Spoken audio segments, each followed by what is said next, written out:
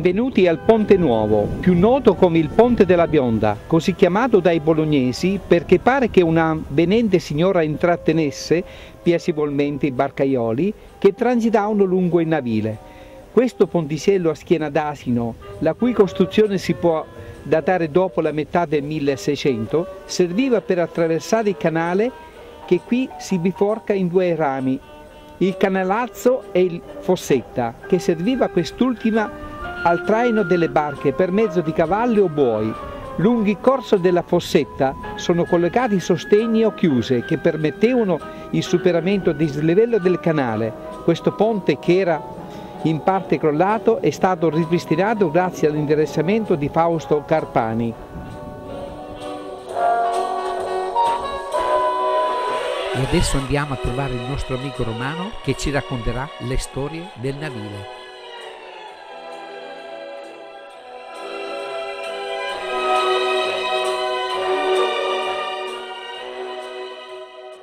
Canale navile che era navigabile ed è stato navigabile per tutto il Medioevo e addirittura utilizzato fino alla, alla fine dello, del 1800, agli inizi del Novecento. Il canale navigabile era molto molto molto frequentato e consentiva a, ai bolognesi di comunicare soprattutto dal punto di vista commerciale con eh, il mare perché il canale eh, eh, sfociava in Reno, il fiume Reno, perché poi scendeva naturalmente al mare. Queste, eh, eh, detto che era navigabile, va detto che al tempo naturalmente non c'erano motori, non c'erano fuoribordo, non c'era niente, questi erano, questi erano barconi che venivano trascinati a Milano. Quindi abbiamo i, i quando questi barconi arrivavano, e va detto anche un'altra cosa importante, il canale era navigabile per circa sette mesi all'anno, perché poi eh, risentiva naturalmente condizioni atmosferiche. No? Ecco, eh, eh, il canale era ehm, usato appunto da questi, utilizzato da questi barconi che venivano, erano trascinati da animali. Eh, questi, questi, questi, sostegni, così come si chiamano, sono 3 o 4 che ci sono, eh, questo è l'ultimo verso, eh, verso Corticella e servivano per il passaggio delle, eh, dei, delle barche laddove c'era una eh, scarsità di eh, acqua.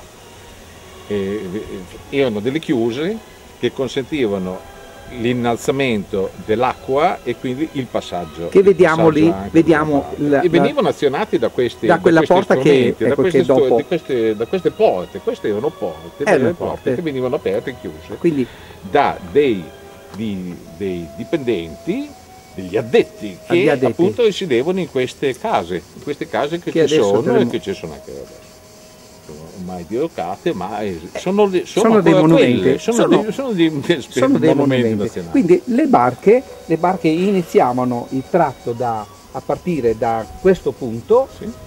e andavano fino, fino a... Andavano. Dunque, bisogna dire che il primo porto, Bologna aveva, aveva avuto più porti.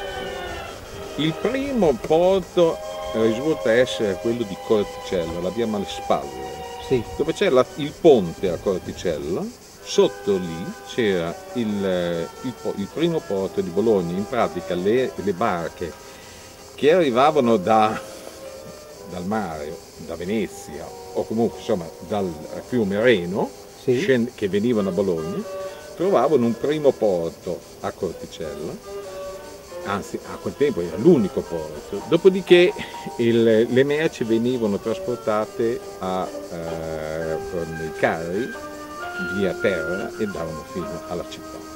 Quando questo canale invece entrò in funzione... Si parla nel, eh, nell'epoca ad esempio? Dunque, guardi, il canale, eh, il canale ebbe il eh, suo ultimo porto, il più moderno, l'ha avuto alla fine del 1400 eh, fatto dall'allora signore di Bologna Giovanni Bentiv- II Bentivoglio che eh, costruì, il, fece costruire il porto laddove c'è ancora oggi ed è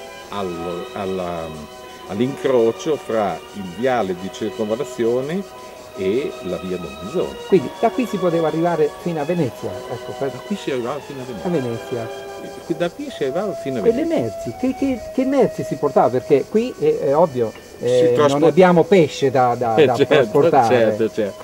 E, no, erano- Bologna eh, viveva l'economia bolognese del tempo nel Medioevo era basata sulla lavorazione del bacco da seta in, in primo luogo.